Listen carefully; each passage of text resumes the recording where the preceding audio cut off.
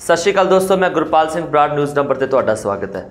ਸਾਡੇ ਪ੍ਰਧਾਨ ਮੰਤਰੀ ਨਰਿੰਦਰ ਮੋਦੀ ਦੀ ਜ਼ਿੰਦਗੀ ਤੇ ਫਿਲਮ ਆ ਰਹੀ ਹੈ, ਤੁਹਾਨੂੰ ਸਭ ਨੂੰ ਪਤਾ ਹੀ ਹੋਵੇਗਾ। ਤੇ ਭਗਤਾਂ ਨੂੰ ਛੱਡ ਕੇ ਬਾਕੀ ਸਾਰੇ ਹੈਰਾਨ ਵੀ ਹੋਵੋਗੇ ਕਿ ਇਹ ਫਿਲਮ ਹੋਣੀ ਕਿਉਂ ਆ ਰਹੀ ਹੈ? ਇਹ ਇਲੈਕਸ਼ਨਸ ਤੋਂ ਪਹਿਲਾਂ ਹੀ ਕਿਉਂ ਆ ਰਹੀ ਹੈ? ਵੈਸੇ ਭਾਰਤ ਵਿੱਚ ਕੋਈ ਵੀ ਫਿਲਮ ਜਦੋਂ ਅਨਾਉਂਸ ਹੁੰਦੀ ਹੈ ਤਾਂ ਰਿਲੀਜ਼ ਹੋਣ ਤੱਕ ਤਕਰੀਬਨ 1-2 ਸਾਲ ਲੱਗ ਹੀ ਜਾਂਦੇ ਨੇ। ਪਰ ਇਸ ਫਿਲਮ ਦੀ ਅਨਾਉਂਸਮੈਂਟ ਦੇ ਰਿਲੀਜ਼ਿੰਗ ਡੇਟ ਦੇ ਵਿੱਚ 1-2 ਮਹੀਨਿਆਂ ਦਾ ਹੀ ਫਾਸਲਾ ਹੈ। ਖੈਰ, ਛੱਡੋ, ਤੁਹਾਨੂੰ ਦੱਸਦੇ ਹਾਂ ਕਿ ਫਿਲਮ ਦਾ ਟ੍ਰੇਲਰ 20 ਮਾਰਚ ਨੂੰ ਆਇਆ ਸੀ ਤੇ ਹੁਣ ਤੱਕ ਤਕਰੀਬਨ 18 ਮਿਲੀਅਨ ਤੋਂ ਵੱਧ ਲੋਕ ਉਸ ਟ੍ਰੇਲਰ ਨੂੰ ਦੇਖ ਚੁੱਕੇ ਨੇ। ਟ੍ਰੇਲਰ ਦੇ ਵਿੱਚ ਕੀ ਕੁਝ ਖਾਸ ਆ ਆਓ ਤੁਹਾਨੂੰ ਦੱਸਦੇ ਹਾਂ। ਟ੍ਰੇਲਰ ਦੀ ਸਭ ਤੋਂ ਖਾਸ ਗੱਲ ਹੈ ਕਿ ਟ੍ਰੇਲਰ ਦੀ ਸਟਾਰਟਿੰਗ ਦੇ ਵਿੱਚ ਇੱਕ ਡਾਇਲੋਗ ਬੋਲਿਆ ਜਾਂਦਾ ਹੈ ਕਿ ਅਬ ਇੱਕ ਮਾਮੂਲੀ ਚਾਏ ਵਾਲਾ, ਕਿਆ ਦੇਸ਼ ਦਾ ਪੀਐਮ ਬਣੇਗਾ? ਇੱਕ ਮਾਮੂਲੀ ਚਾਏ ਵਾਲਾ। ਇਸ ਦੇਸ਼ ਦਾ ਪੀਐਮ ਬਣੇਗਾ? ਭਾਵ ਫਿਲਮ ਸਪਸ਼ਟ ਤੌਰ ਤੇ ਇਹ ਕਹਿ ਰਹੀ ਹੈ ਕਿ ਨਰਿੰਦਰ ਮੋਦੀ ਸੱਚਮੁੱਚ ਇੱਕ ਚਾਹ ਵਾਲਾ ਸੀ। ਜਦ ਕਿ ਰਿਪੋਰਟਾਂ ਕਹਿੰਦੀਆਂ ਨੇ ਕਿ ਇਸ ਚੀਜ਼ ਦਾ ਕੋਈ ਰਿਕਾਰਡ ਨਹੀਂ ਹੈ ਕਿ ਨਰਿੰਦਰ ਮੋਦੀ ਚਾਹ ਵੇਚਦੇ ਵੀ ਸਨ ਕਿ ਨਹੀਂ। ਪਰ ਫਿਲਮ ਵਿੱਚ ਅਜਿਹਾ ਦੱਸਿਆ ਗਿਆ ਹੈ ਸਿਰਫ ਲੋਕਾਂ ਦਾ ਧਿਆਨ ਖਿੱਚਣ ਦੇ ਲਈ ਹੈ। ਟ੍ਰੇਲਰ ਨੂੰ ਅੱਗੇ ਵੇਖੀਏ ਤਾਂ ਇੱਕ ਹੋਰ ਬੜਾ ਖਾਸ ਜਿਹਾ ਡਾਇਲੋਗ ਆਉਂਦਾ ਜਿਸ ਦੇ ਵਿੱਚ ਕਿਹਾ ਜਾਂਦਾ ਕਿ ਆਰਐਸਐਸ ਸਿਰਫ ਇੱਕ ਸੰਗਠਨ ਹੀ ਨਹੀਂ ਬਲਕਿ ਇੱਕ ਸੈਨਾ ਹੈ। ਆਰਐਸਐਸ ਸਿਰਫ ਇੱਕ ਸੰਗਠਨ ਨਹੀਂ ਇੱਕ ਸੈਨਾ ਹੈ। ਸਭ ਤਿਆਰ? ਕਹਿਣ ਤੋਂ ਭਾਵ ਫਿਲਮ ਦੇ ਵਿੱਚ ਆਰਐਸਐਸ ਦਾ ਵੀ ਚੰਗਾ ਚੋਖਾ ਕਿਰਦਾਰ ਦਿਖਾਇਆ ਗਿਆ ਹੈ। ਨਰਿੰਦਰ ਮੋਦੀ ਆਰਐਸਐਸ ਨੂੰ ਜੁਆਇਨ ਕਰਦੇ ਨੇ ਇਹ ਵੀ ਦਿਖਾਇਆ ਗਿਆ ਹੈ।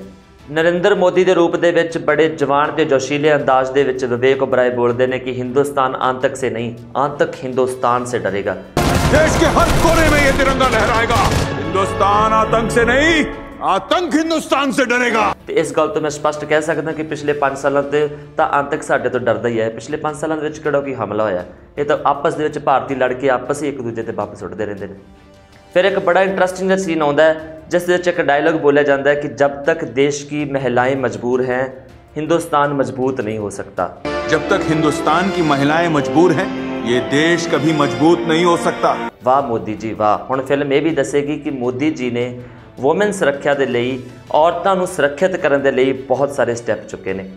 ਸ਼ਾਇਦ ਮੋਦੀ ਨੂੰ ਆਸਿਫਾ ਦੀਆਂ ਚੀਕਾਂ ਨਹੀਂ ਸੁਣ ਰਹੀਆਂ। ਸ਼ਾਇਦ ਫਿਲਮ ਬਣਾਉਣ ਵਾਲਿਆਂ ਨੂੰ ਰੇਪ ਕੇਸਸ ਦੇ ਵਿੱਚ ਹੋਈਆਂ ਬੇਇਨਸਾਫੀਆਂ ਦਾ ਪਤਾ ਨਹੀਂ।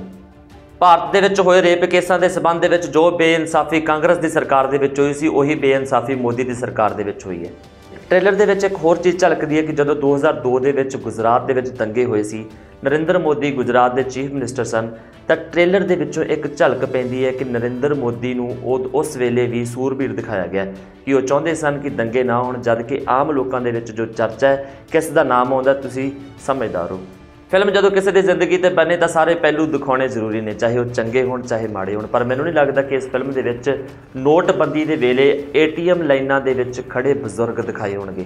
ਏਟੀਐਮ ਲਾਈਨਾਂ ਦੇ ਵਿੱਚ ਖੜੇ ਪੁਲਿਸ ਲਾਠੀ ਚਾਰਜ ਨਾਲ ਮਰੇ ਮਾਵਾਂ ਦੇ ਪੁੱਤ ਦਿਖਾਏ ਹੋਣਗੇ।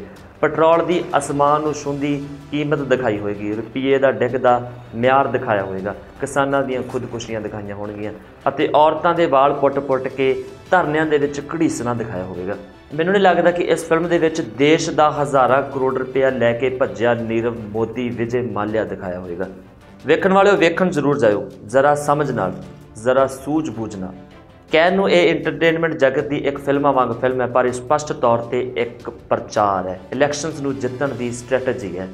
ਦੇਸ਼ ਰੋ ਰਿਹਾ ਤੇ ਸਾਨੂੰ ਦੇਸ਼ ਨੂੰ ਚਲਾਉਣ ਵਾਲਾ ਇੱਕ ਸੂਰਬੀਰ ਚਾਹੀਦਾ ਇੱਕ ਯੋਧਾ ਚਾਹੀਦਾ ਜੋ ਦੇਸ਼ ਦੇ ਅਸਲ ਮੁੱਦਿਆਂ ਤੇ ਗੱਲ ਕਰੇ, ਜੋ ਦੇਸ਼ ਦੀ ਅਸਲ ਹਾਲਾਤ ਨੂੰ ਜਾਣਦਾ ਹੋਵੇ।